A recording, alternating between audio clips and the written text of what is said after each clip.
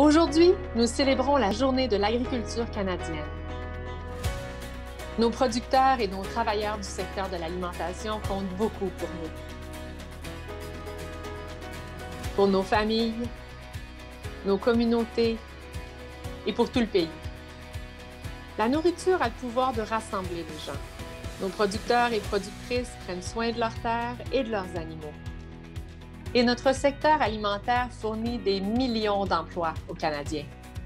Des éleveurs de bétail en Colombie-Britannique, aux producteurs de grains dans les prairies, aux producteurs en serre en Ontario, aux producteurs de lait du Québec, aux producteurs de fruits du Canada atlantique.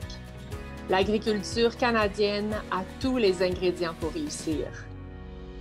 Avec les défis engendrés par la COVID-19, il est important plus que jamais de soutenir vos producteurs locaux qui contribuent à mettre les meilleurs aliments dans vos assiettes. Ensemble, prenons un moment pour les remercier sincèrement.